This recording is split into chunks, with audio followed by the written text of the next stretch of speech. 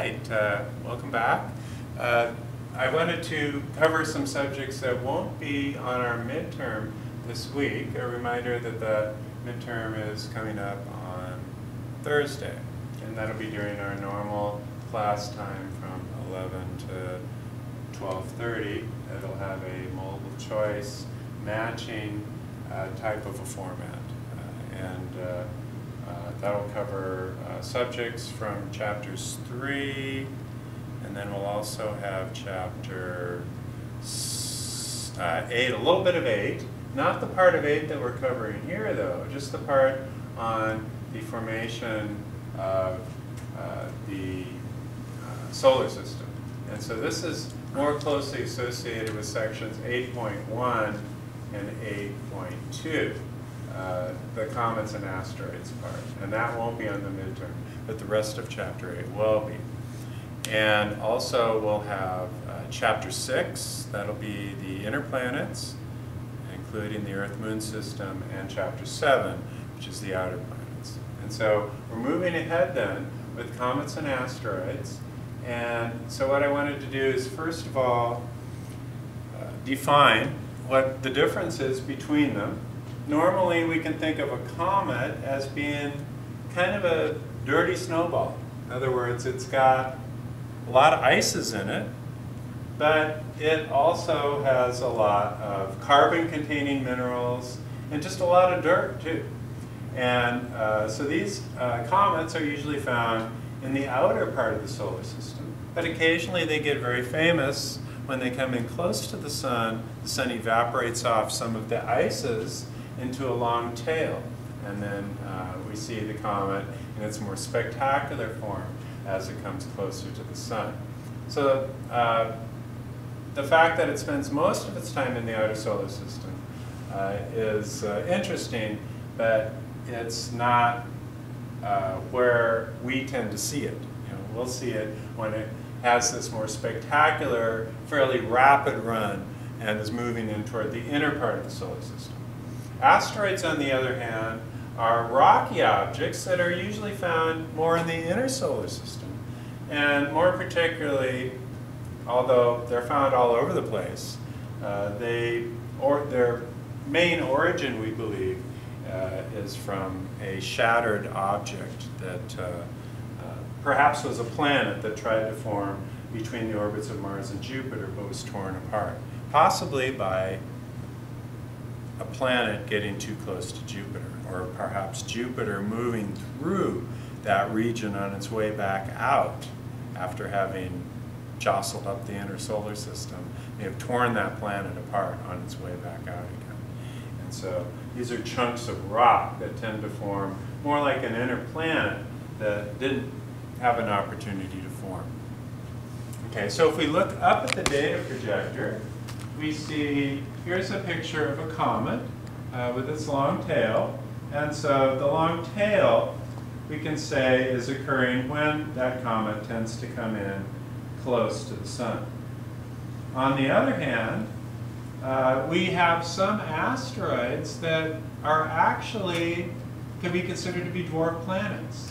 And one of those is Ceres, which is smaller than our moon, that is spherical in shape. And so the majority of asteroids are not spherical in shape.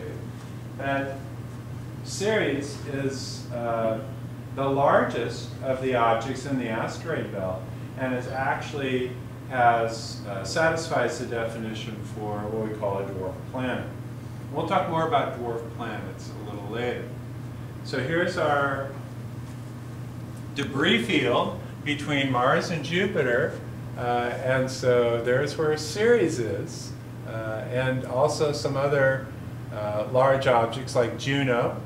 Uh, and so if you're on your way to Jupiter then, and you're in the ecliptic plane, you'll have to encounter this debris field that we call the asteroid belt. Okay, now, a lot of times, if you want to get a comet or an asteroid named after you, what you do as an amateur astronomer is you uh, follow a particular point in the nighttime sky with a telescope, and then you look for an overexposure of the photograph that you're taking, which is indicative of a larger angular motion which can occur for objects that are closer to us. And so this is how amateur astronomers find comets and asteroids, and you can actually get one named after you if you are the discoverer. Okay, here is Juno. So this is a less regularly shaped asteroid, uh, less spherical in shape, uh, more typical of the kind of irregular shapes that you'll tend to find from asteroids. Now, when we're talking about comets, there uh, are a couple of things that comets have in common with each other. Let's go ahead and pull down. And what we find is that comets come in two different categories. We have what we call short period comets.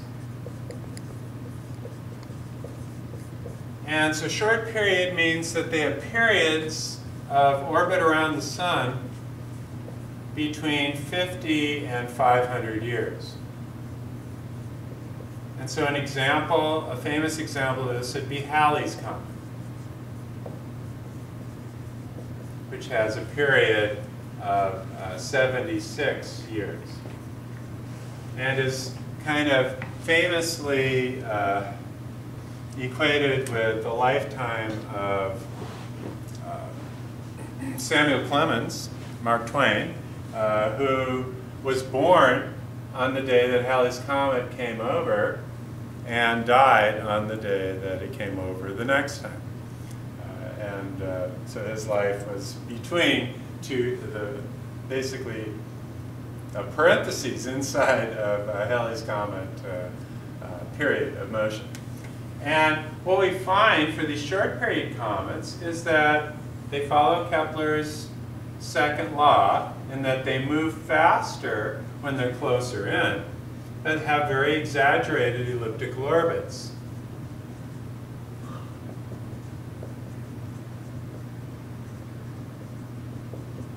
These are the short period comets. The long period comets, too, have very exaggerated elliptical orbits. Uh, but here we can think of this elongation of the ellipse as being um, a more elliptical orbit, and one that was more circular, we would consider to be a circular orbit. And so these ellipticities that we're looking at here are much bigger for comets than they are for planets. And so this might be, if this is the sun, this might be all the way out at the orbit, say, of Neptune or Uranus. That might be the maximum distance away. And so a comet like Halley's Comet, when it reaches this point, would be going very slow. Maybe you could walk alongside of it. It would be going so slowly. But then when it comes in close, it might be going hundreds of thousands of miles an hour. So the difference in speed is related to the ellipticity of the orbit, so that the comets tend to move really fast through this part of the orbit and really slow through that part of the orbit. And this is the reason why comets tend to spend most of their time in the outer solar system, because this is where they're moving most slowly. Okay? And uh, so for a comet like Halley's Comet, or for any of these other short period comets, uh, they move very, very rapidly as they get in close to the sun. Now, comets are kind of famous for their tails. The tails are caused by the evaporation of uh, the ices within the comet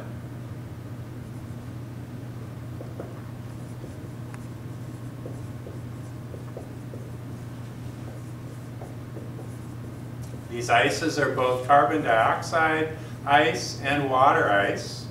CO2 ice is sometimes called dry ice. Uh, and uh, so we have both of those kinds of ices in comets, frozen CO2 and frozen water. And so let's say that this is our comet moving in toward the sun. we have solar radiation in the form of what we call the solar wind. The solar wind is uh, high energy particles rather than radiation.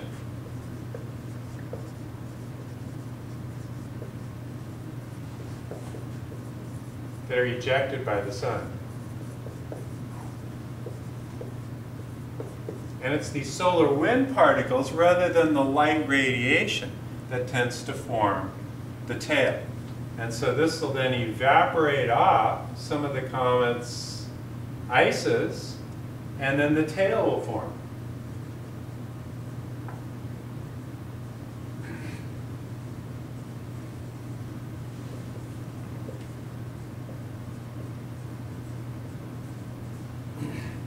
And these ices are, again, formed by the solar wind particles.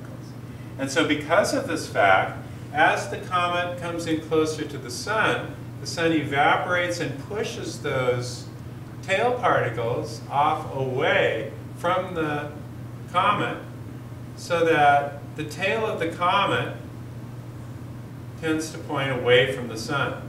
So the tail of the comet is not dragged behind the comet as you might think, but rather the tail of the comet can actually lead the comet.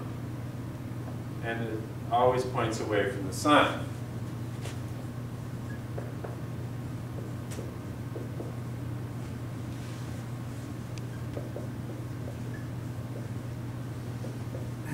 Okay, so the comet comes in, spends just maybe a few months in this inner part of the solar system, and then maybe spends decades or even hundreds of years out here in the cooler part of the solar system. Then when it comes in, it gets close enough to the sun, you start seeing it because of its tail. And uh, that tail tends to point away from the sun. So if we look at this picture, that shows throughout the comet's path, uh, the uh, tail can actually lead and be in front of the comet uh, when it's on its way back out again. Okay, and so eventually then, short period comets tend to disappear because all their ice is evaporated.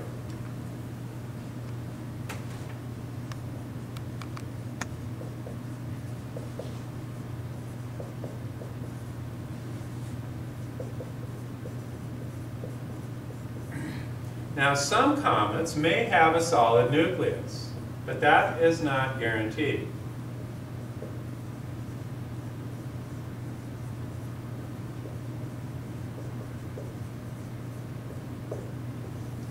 And then here would be the ices on the outside part of the comet.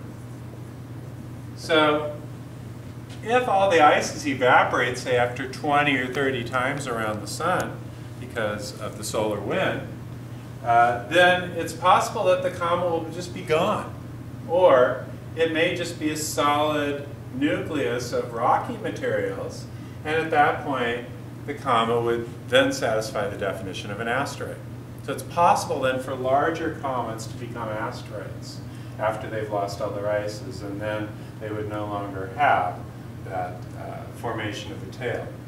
But in other cases, they just completely disappear. If they don't have a solid nucleus and the comets evaporate off, uh, all the ices are evaporated off by the solar wind, then that's it. That short period comet is gone. And so the question then is, why do we have short period comets if they would all be gone after 20 or 30 trips around the sun in just a few thousand years? And the answer is, there's another kind of comet that can replenish the supply of the short period comets, and that's called the long period comet.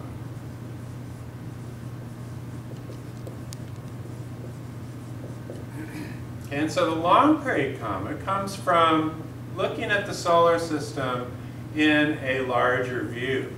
Okay, so here is the sun and the ecliptic plane, which contains the planets. And then outside of the normal region of the solar system, we have what's called the Kuiper belt, And that Kuiper belt eventually turns into a huge cloud of comet fragments called the Oort cloud.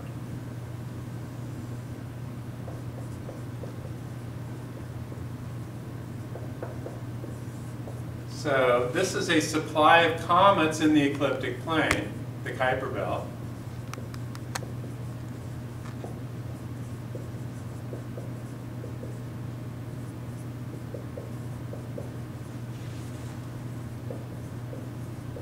And the Oort cloud is a spherical distribution of comets.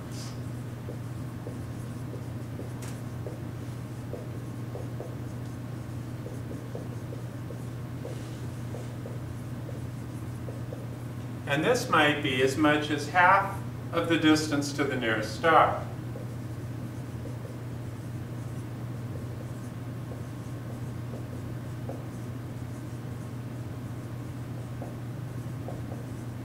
So in other words, for our solar system, this Oort cloud could extend out to the Oort cloud for Alpha Centauri.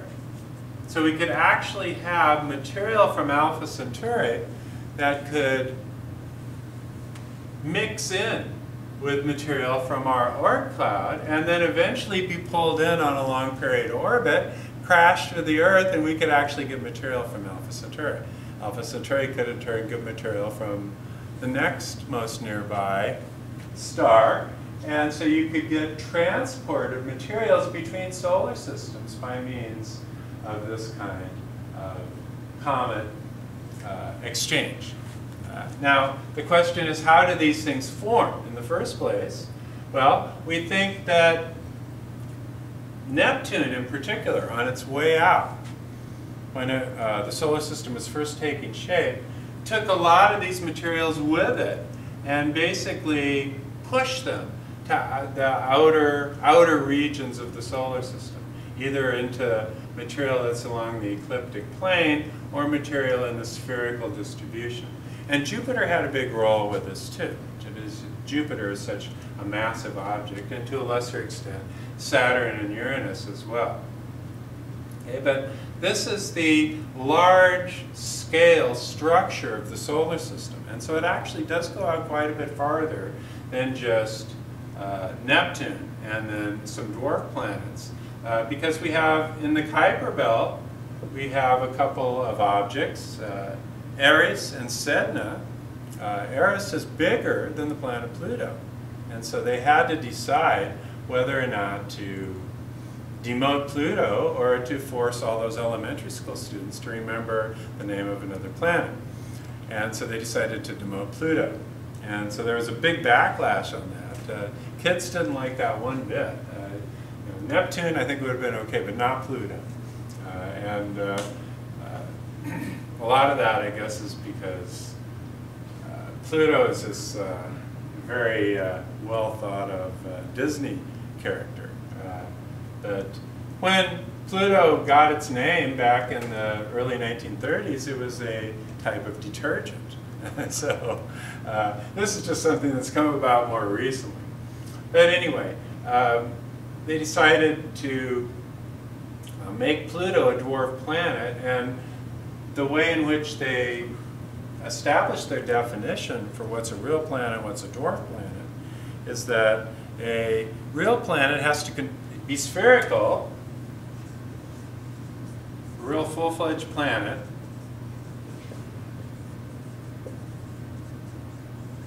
But what distinguishes a real planet from a, a, dwarf planet is that it has to control its own orbit.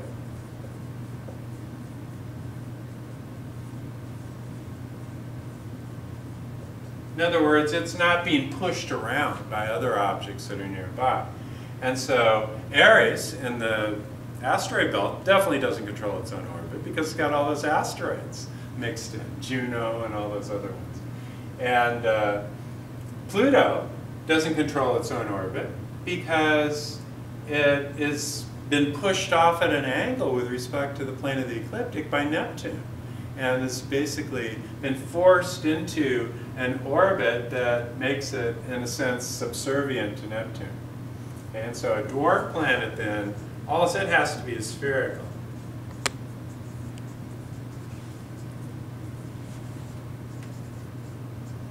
But doesn't control its own orbit.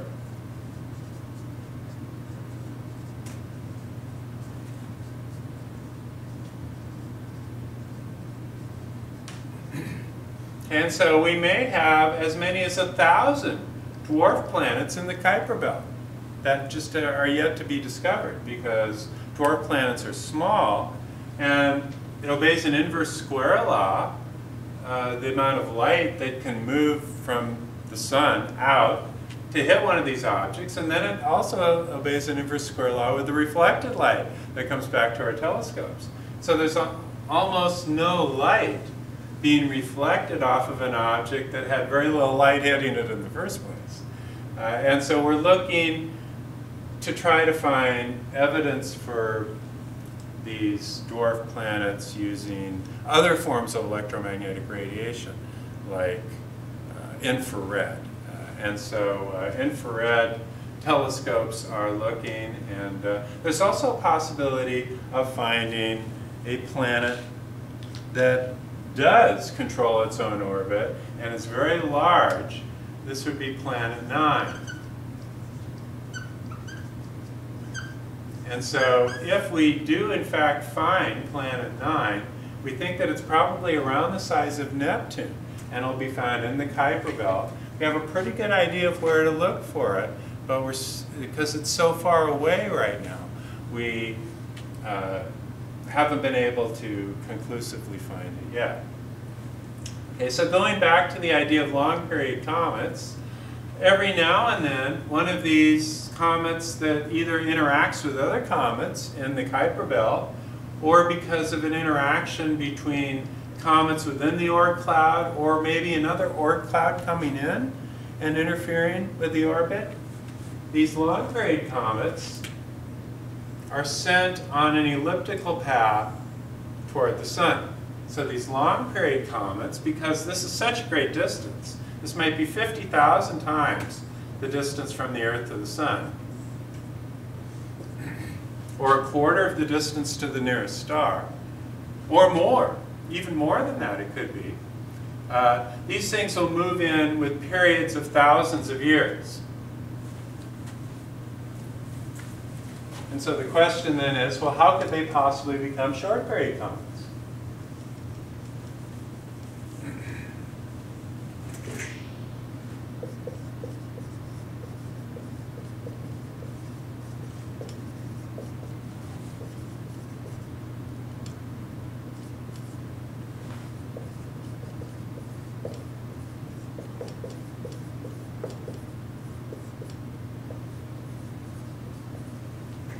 And the answer is, when we look at a short period comet, what we usually find is an interaction of that short period comet with a big planet like Jupiter. And so this is a path that might have been taken by a long period comet that if it hadn't encountered Jupiter would have just been shot off at some angle with respect to the sun and eventually loop back around into a huge elliptical orbit after thousands of years. But with a close approach to a planet like Jupiter, some of these long period comets can be deflected into short period orbits. And so these long period comets can be very dangerous uh, because they're moving really fast when they come in. But a long period comet can turn into a short period comet with a close approach to Jupiter.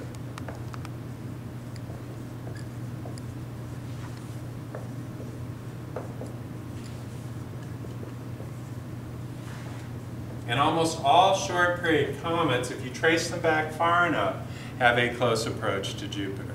And so this is substantiated by data that's been worked out from computer simulations.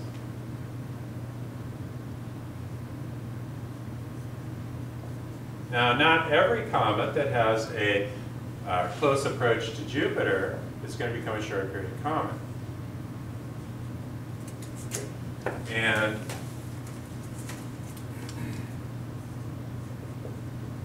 so it takes a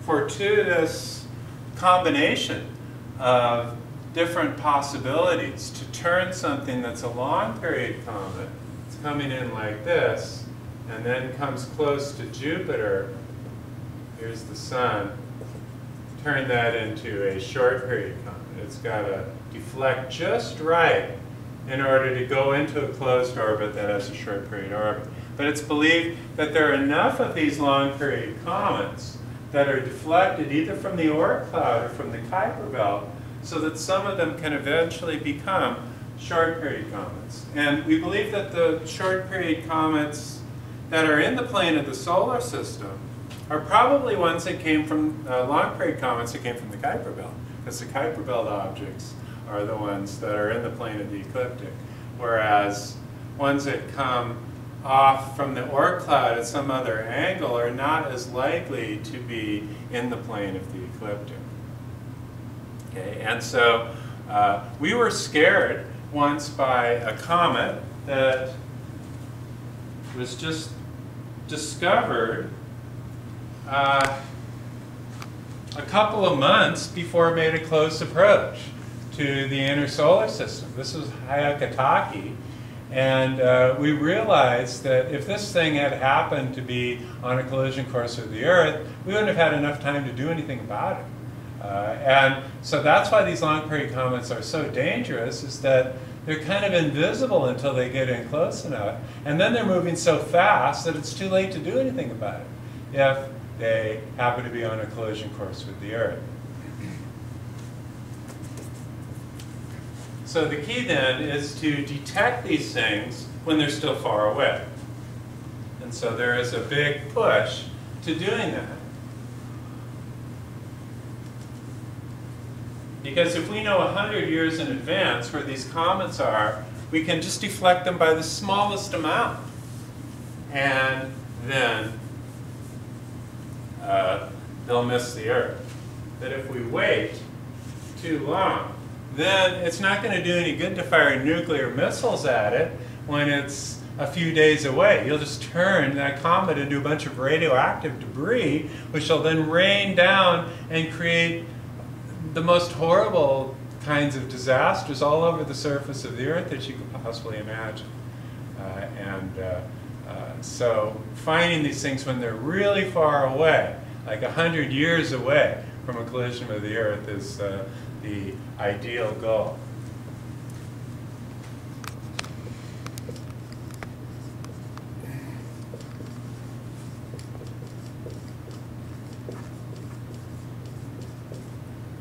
Um, the next thing I wanted to look at are meteor showers. Uh, what causes a meteor shower? Well, these are like shooting stars. Of course, that's a common term for something, they're not stars at all.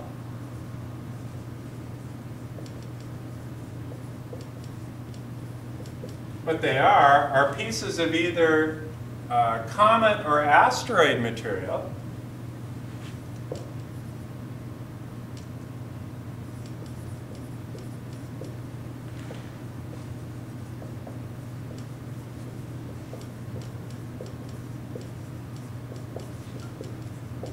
that is burning up as it moves through the Earth's atmosphere.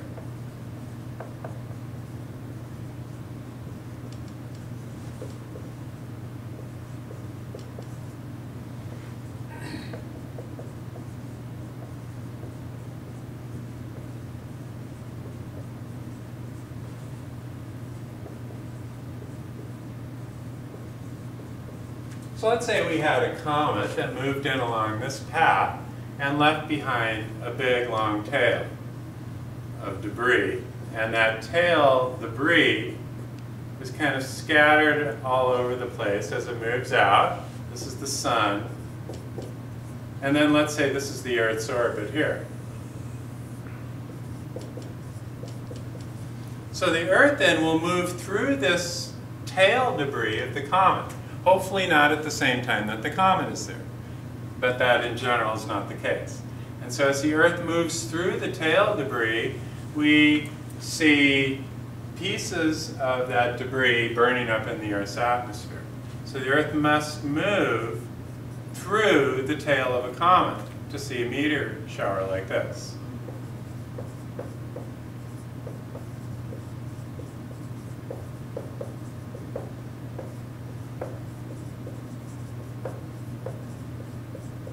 And this is why they're so well defined in terms of being predictable.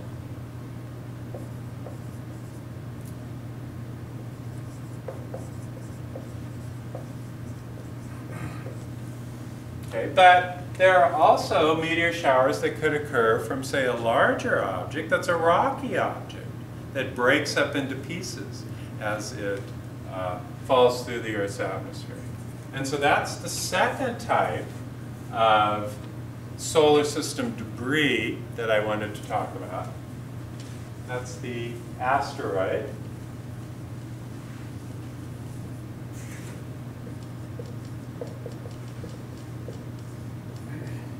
And so, as we said before, they're mostly found in the asteroid belt between the orbits of Mars and Jupiter.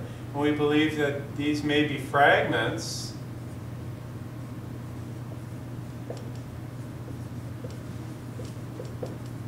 of a planet between Mars and Jupiter that um, was destroyed by tidal forces from Jupiter.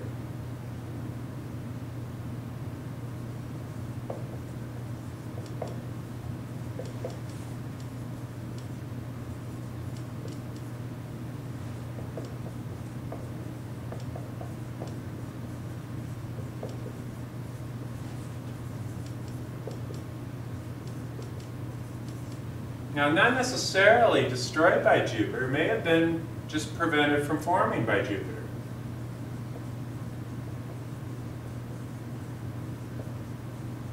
It's hard to go back and see exactly what happened now, especially with so many objects.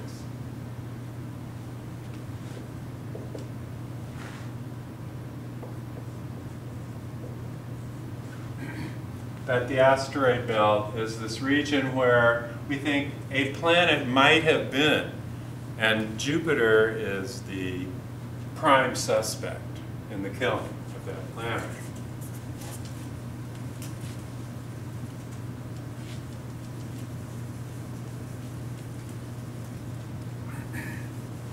Now, when we look at where these asteroids are located, what we tend to find is that they have been cleared out from certain orbital radii and are more numerous at other orbital radii. And you'll notice that in this plot, we, what we have are the number of known asteroids that have been found as a function of Jupiter's orbital period. And so on the horizontal axis, it's not distance, it's time. And so 1 here is the period of Jupiter's orbit, which is 12 years. Okay, and so 1 half here would be 6 years for the orbital period of an asteroid around the Sun. And then this would be 3 sevenths of 12. This would be 2 fifths of 12. This would be 1 third of 12. And so what we think has happened here is that interactions between Jupiter and these uh, asteroids has cleared them out at certain distances.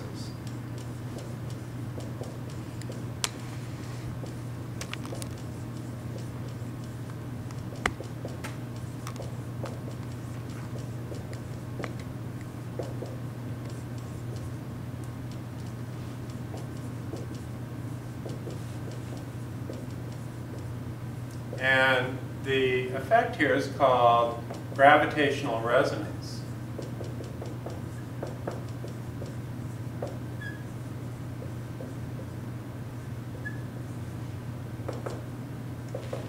So imagine that you have a asteroid that's moving around the sun like this.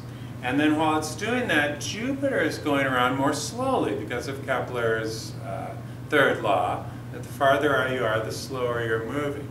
And so as the asteroid moves around like this, let's say it moves around twice for every one time that Jupiter moves around.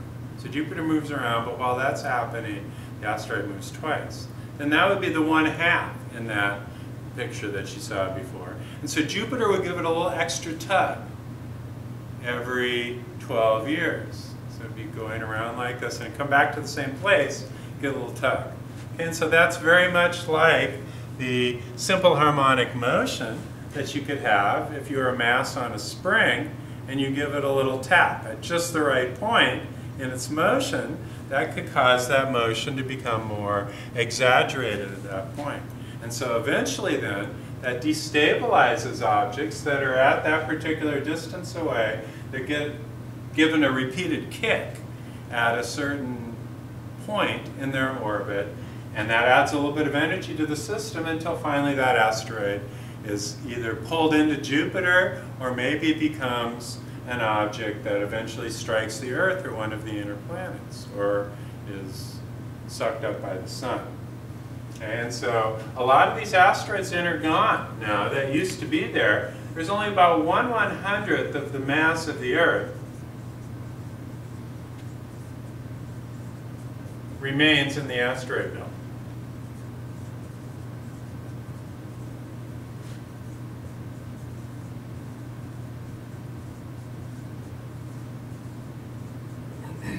And every now and then, the Earth is hit by an object. Uh, so maybe we get one major collision of an asteroid or a comet with the Earth every 100 million years.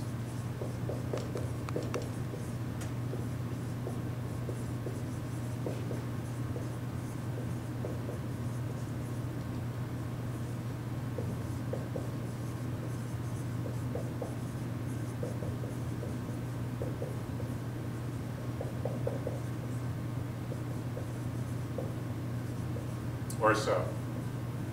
Now what do I mean by major? Well, I mean something that might have a diameter of 10 miles or so. And the last time that we had this kind of a collision of an object with the Earth was uh, with the extinction of the dinosaurs. So that happened 64 million years ago.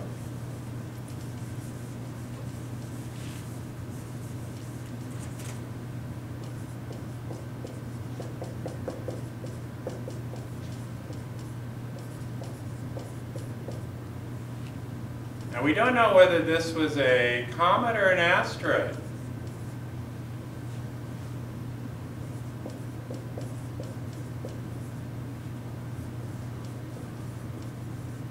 However, there was a swarm of asteroids, so it's thought to have been created because of a collision something like 230 million years ago. And one of those objects hit the surface of the moon 110 million years ago and created the Tycho crater. And it's thought that this was part of that same swarm. So if that's the case, then it was a large asteroid that hit the Earth 64 million years ago. Now by large here, I mean it had a diameter of about six miles. So that means that the top of the asteroid was pretty much mostly outside of the atmosphere when the bottom side of it hit the surface. Okay, so it was as thick as the atmosphere itself. Uh, and this hit in the Yucatan Peninsula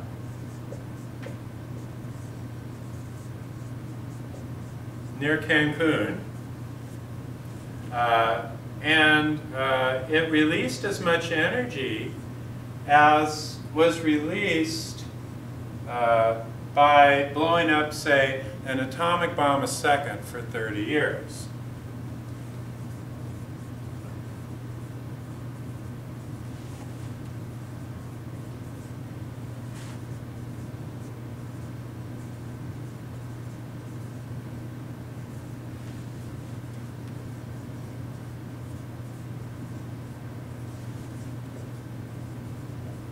So this was a tremendous amount of energy. It probably hit the Earth traveling at something like 40,000 miles an hour.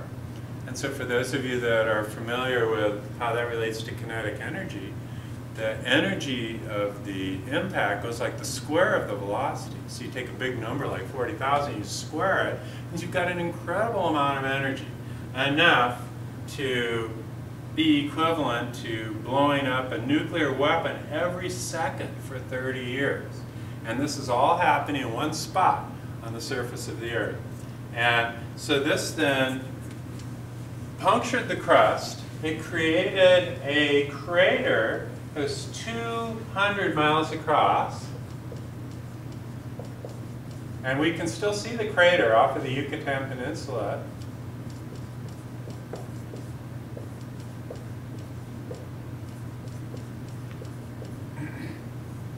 It blew up material into the stratosphere, and so this material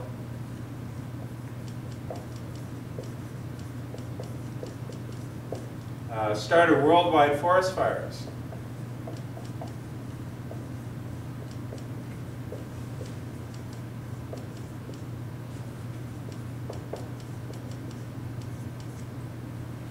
And the computer simulations indicate that the global temperature spiked at about 180 degrees worldwide for a few hours, which is enough to kill almost everything.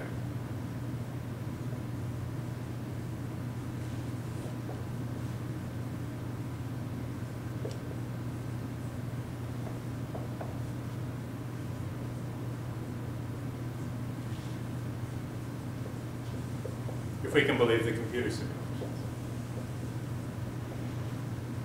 So how could our ancestors have survived? Well, at that time, the dinosaurs were in control. And so we were just little rodent-like creatures, little shrews and stuff that were uh, hiding underground. And so that gave us the perfect protection from uh, this kind of a uh, shock wave of heat that moved over the surface. We also didn't need as much food because we were very small at that time. Whereas the bigger creatures couldn't hide unless they could get inside a big cave or if they were aquatic, like crocodiles survived that. But it, basically, if you weren't a, uh, a creature of the seas, uh, you were bigger than a dog, you were killed by this impact 64 million years ago. And uh, so this knocked out something like 60 to 90% of all life was killed.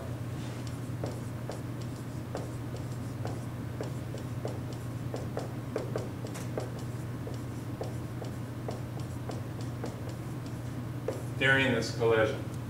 And so this was the end of the dinosaurs, but the beginning of the Cenozoic era, which is the age of the mammals. So the dinosaurs had uh, controlled the planet for something like 170 million years, but this was the end of the dinosaur era.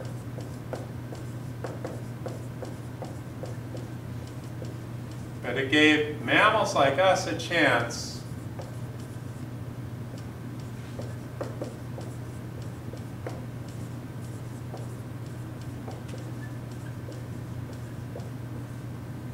for mammals to uh, uh, go into the empty uh, uh nooks and crannies of the uh, food web and the different environmental niches uh, and so mammals then were able to take over for the extinct dinosaurs. And so this is the kind of thing that happens fairly regularly on a geologic time scale, on the order maybe one huge collision every 100 million years. Uh, there are lots of other smaller collisions that happen more regularly, but ones that are really big like this are potentially planet killers. Uh, and if you had an object that was, say, 100 miles in diameter, instead of five or 10 uh, in the Earth, that would evaporate all of our oceans. And so that would be a planet killer, at least for a multi-cell life. So this is one of the main reasons why it's extremely important for us to uh, have a good feeling for where all of these objects are. Uh, it doesn't take that much uh, of our time and energy to find these things, but the consequences of having something like that happen make it uh, worth the cost.